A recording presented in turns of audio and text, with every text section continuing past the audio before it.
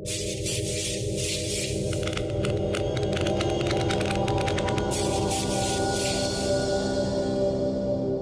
everyone, look, we have just such a great announcement to make in that we have finally, after three years of long, uh, diligent, some at times arduous, but always positive negotiations with the union, uh, the MEAA, we've finally reached an agreement on the repeats and residuals arrangement. And we couldn't be happier. Um, now, there are three things you should know about this. The first is this deal is a game changer. It changes the way in which producers will be working with performers, and it also changes the way in which producers will be working with broadcast and online streaming platforms. Um, the key is that there'll be a lot more flexibility and a lot more opportunity for Australian content to be able to be competitive.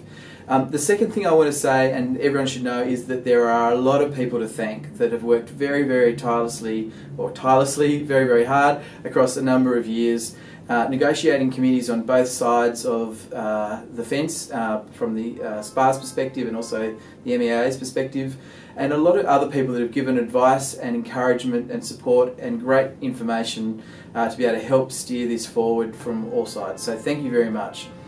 Um, the third thing to share is that we will be out on the road soon on a national roadshow, the dates of which will be announced shortly, uh, to talk about uh, this deal in a great deal of detail so that every all of our members have access to what it means for them, what it means in terms of the way in which they'll need to contract going forward.